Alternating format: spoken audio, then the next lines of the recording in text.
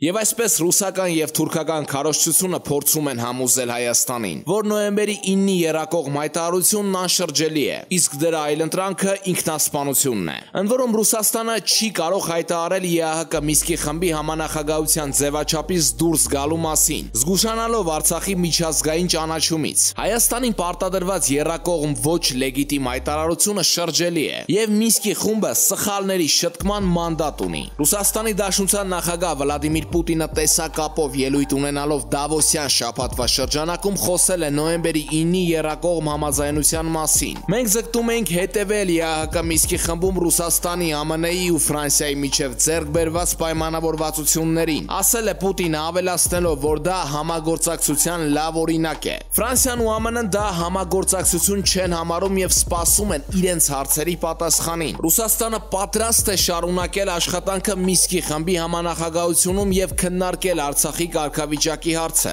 Ռուս պաշտոնյաներն այս հարցով ոչ միանշանակ հայտարարություններ են արել։ Պուտինը օրինակ հայտարարել է, որ Ղարաբաղը համարում է Ադրբեջանի միջազգայինորեն ճանաչված տարածք։ Իսկ նրա ագնախարար Լավրովն ասել է, որ կարգավիճակի հարցը դիտավորյալ չի ներառվել երրակողմ հայտարարությունում, քանի որ դա ապագայի հարց է։ Բայց երբ Նիկոլ Փաշինյանը հայտարարեց, որ Ռուսաստանի առաջարկած տարբերակներում եղել է տարածքների վերադարձն առանց կարգավիճակի, Ռուսաստանում նեղված ելույթներ սկսվեցին։ Երևանի շահերն արտացոլող տարերի թվում են Լեռնային Ղարաբաղի իրավունքի ճանաչումը, որը կապահովի այնտեղ բնակչության լիարժեք կենսագործունեության կազմակերպումը։ Այդ պատճառով պնդել, որ Ռուսաստանն առաջարկել է հենց այնպես վերադարձնել 7 շրջան մոռանալ կարգավիճակի մասին ու հանգստանալ, չի համապատասխանում իրականությանը։ Հայտարարել էր Միսկի խմբի ռուս համանախագահ Իգոր Պոպովը։ Հունվարի 27-ին Իրանի ագնախարար Զարիֆի հետ հանդիպանը Նիկոլ Փաշինյանը նշել է, որ շատ հարցեր մնում են չլուծված, այդ թվում Լեռնային Ղարաբաղի կարգավիճակի հարցը, եւ Հայաստանը պատրաստ է շարունակել բանակցությունները ԵԱՀԿ Միսկի խմբի համանախագահության շրջանակում։ Հունվարի 27-ին նաեւ տեղի է ունեցել Հայաստանի ու Ռուսաստանի ագնախարարների հերախոսազրույցը։ Ռուսական կողմի հաղորդագրությունում չի հիշատակվում Միսկի խմբի աշխատանքի վերսկսումը։ Հիշեցնենք, որ 2020 թվականի նոյեմբերի 25-ին Ֆրանսիայի Սենատի ընտրված բանաձևում թվարկվել են որոշ հարցեր, որոնք պետք է քննարկել 1994 թվականի սահմանների վերականգնում, ադրբեջանական զինված ուժերի դուրսբերում տարածքներից, որոնք գրավվել են սեպտեմբերի 27-ին սկսած ռազմական գործողությունների արդյունքում, ինչպես նաև բնակչության պաշտպանություն Միսկի խմբի հովանու ներքո միջազգային ուժերի տեղակայման միջոցով 2007 թվականի խաղաղ պլանի համաձայն։ Այլ խոսքով Ֆրանսիան Սենատի մակարդակով անհնար չի համարում նախապատերազմական իրողություններին վերադարձը, ինչպես նաև ռուս խաղաղապահների փոխարինումը միջազգայինով։ Անշրջելի չեն համարում նաև Արցախի դեմ ահաբեկչական ագրեսիայի արդյունքները։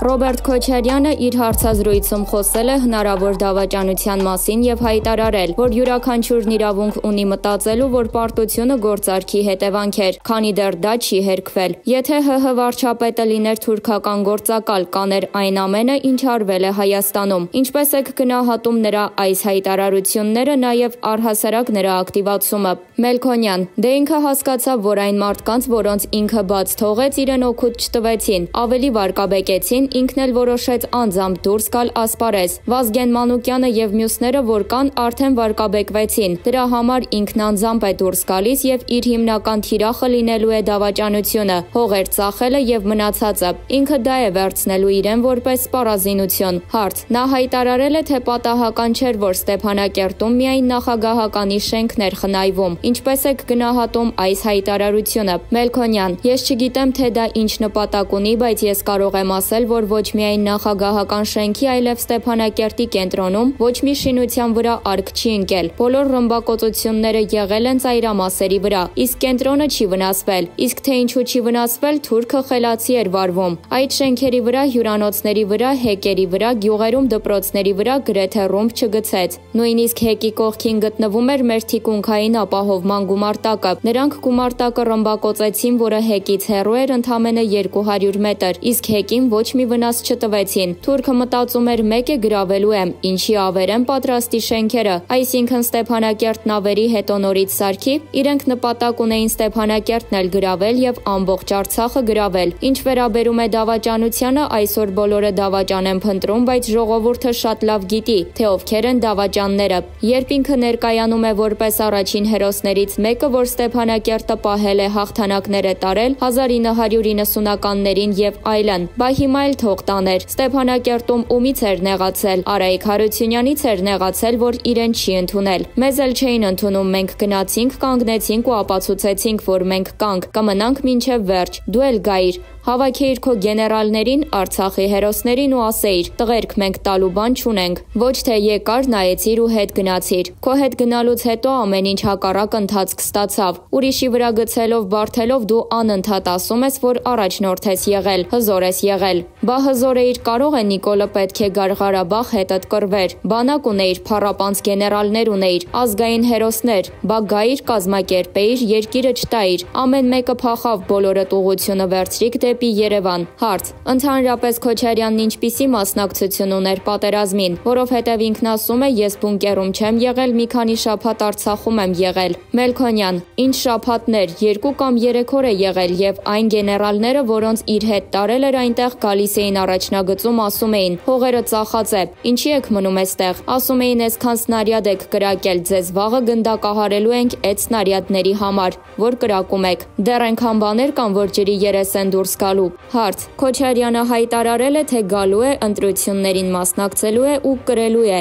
Ձեր կարծիքով ինքը որքանով կարող է հաջողել։ Մելքոնյան. Ինքը որ 1998-ին եկավ, տեսավ, հաղթեց այն մարդիկ, որոնք իր կողքը կանգնած էին, այդ մարդիկ էլ չկան։ Իր կողքը էլ չեն կանգնելու այդ մարդիկ։ Նրանք կամ արդեն զոհվել են, կամ արդեն ճանաչում են իրեն։ Ոչ ոք իր կողքը չի կանգնելու։ Այ եթե այս պատերազմի ժամանակ ինքը նստեր Ստեփանակերտում, հավաքեր գեներալներին ու ասեր. «Տղերք, ամեն մեկդ 300 արկ եք բերում, բեկում ենք մտցնում պատերազմի մեջ»։ Այդ ժամանակ բոլորը կընդունեին իրեն, կասեին՝ «Տես, ասեց ու արեց»։ Իսկ եթե ինքը թողել այնտեղից եկել է, Արցախը կորցրել ենք ու հիմա ուզում է նորից իշխանության գալ, ինձ թվում է ժողովուրդն այդքան մոռացկոտ չի։ Հարց. Նա նաև նշել է, որ բանակը պետք է արդիականանա։ Նոր հայեցակարգ է պետք եւ Վիտալի Բալասանյանը ինչ որ քայլեր փորձում է անել։ Ինչպես եք գնահատում նոր անվտանգության հայեցակարգ ձևավորելու այս մղումը։ Մելքոնյան. Մեր ամբողջ տեխնիկան առանց կրակելու թողեցինք Թուրքին, եկանք։ Իսկ եթե Վիտալի Բալասանյանն արդեն աթսներ է առնում, շատ լավ է։ Թող իրենք ֆինանսավորեն բոլոր Ղարաբաղցիներով։ Սփյուռքում ինչքան հարուստ Ղարաբաղցիներ ունենք Մոսկվայի արտասահմանի, նաև այստեղի մեծահարուստ ռեսուրսներով թող գումարները հավաքեն։ Մենք ԱԹՍ-ներ էլ կունենանք Ղարաբաղում, արդիական բոլոր զենքերն էլ կունենանք։ Հարց. ըստ էության որևէ ձևով ինքը իր մեղավորության բաժինը չի զգում բանակում արկա այս իրավիճակի համար։ Մելքոնյան. Դե կարող է եւ չզգալ։ Ինքը հիմա պաշտոնի չի կարող է եւ քննադատել եւ ասել ինչ ուզում է։ Ոչ ոք իրեն չի կարող մեղադրել, բայց որ ինքը պետք է կանգներ Ստեփանակերտում ու հավաքեր բոլորին ու չի արել, դրա համար ինքը մեղավոր է։ Հարց. Բայց չէ որ հենց բանակի գումարներ գումարներն են թալանվել, նաև իր նախագահության տարիներին։ Մելքոնյան, ինչի միայն բանակի, ամբողջ պետության, ամբողջ ժողովրդի գումարներն են թալանել։ Հարց. Ամեն դեպքում Քոչարյանը իշխանության վերադառնալու որևէ շանս կունենա։ Մելքոնյան, ես բացառում եմ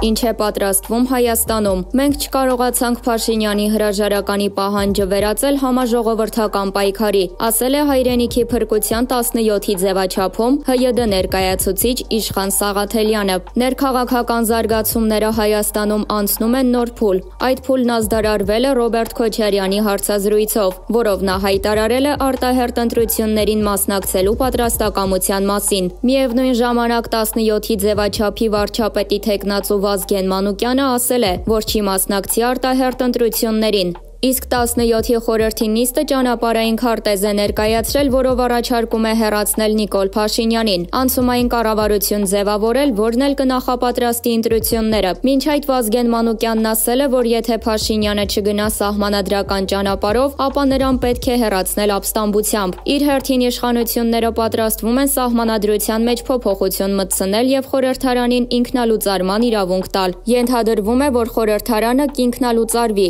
եւ մայիսին արտահերտ ընտրություններ կլինեն։ 17-ի ձևաչափի մի մասը դրա հետ համաձայն չէ, սակայն Քոչարյանի համաձայնությունը խոսում է այն մասին, որ ընտրությունների սցենարը առավել իրատեսական է համարվում այն ուժերի կողմից, որոնք ծրագրավորում են Հայաստանի ներքաղաքական կյանքը։ Կլինի ապստամբություն, որի մասին խոսում է Մանուկյանը։ Երևանի գրեթե բոլոր փողոցներում, կանգառներում ու մետրոյի կայաններում տարածվել են վերացնել դավաճանին գրությամբ թռուցիկներ։ Թռուցիկների մյուս կողմում գրված է հարված, որը որը ենթադրաբար ակցիան իրականացրած խմբի անունն է։ Եռաբլուրում բավական կտրուկ էին արտահայտվել նախկին բարձրաստիճան զինվորականները։ ԱՀ ԱԺ նախկին падգամավոր Վահան Բադասյանը հայտարարեց, որ ստեղծելու են ռազմական խորհուրդ։ Նրա խոսքով ՀՀ վարչապետ Նիկոլ Փաշինյանին պետք է հերացնեն ոչ միայն որպես պարտության խորհրդանիշ, այլև թշնամի։ Հեռացնելու տարբեր ճանապարհներ կան ընդհուպ ֆիզիկապես հեռացնելը։ Դա ենթադրում է այն, որ թշնամուն պետք է վերացնենք թեկուզ զենքի ուժով։ Այո, ես գիտակցաբար սպառնալիքի կոչեր եմ անում, թող ԱԱԾ-ն ձերբակալի